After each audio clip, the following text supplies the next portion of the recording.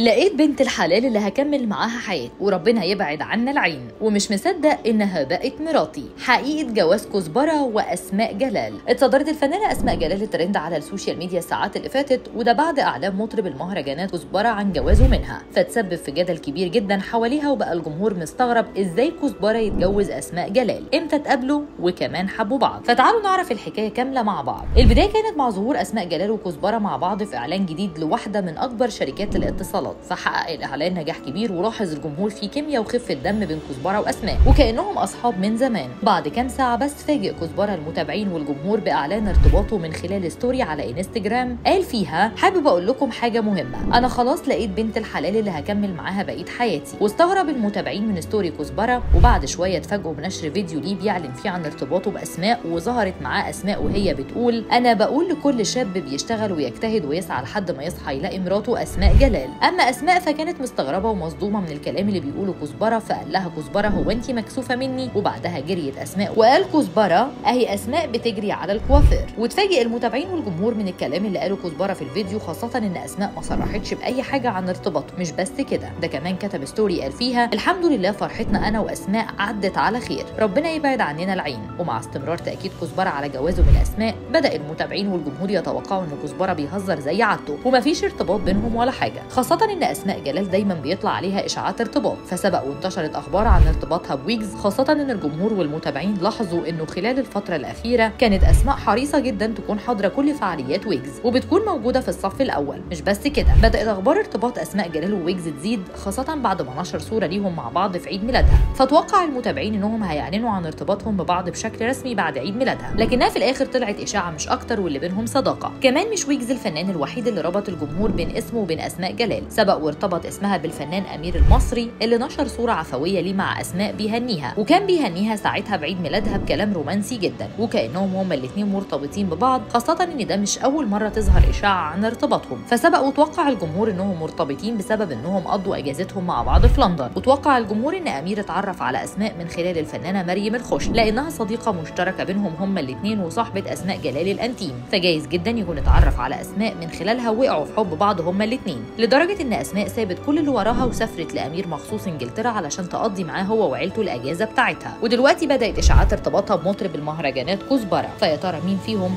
حبيب أسماء جلال الحقيقي؟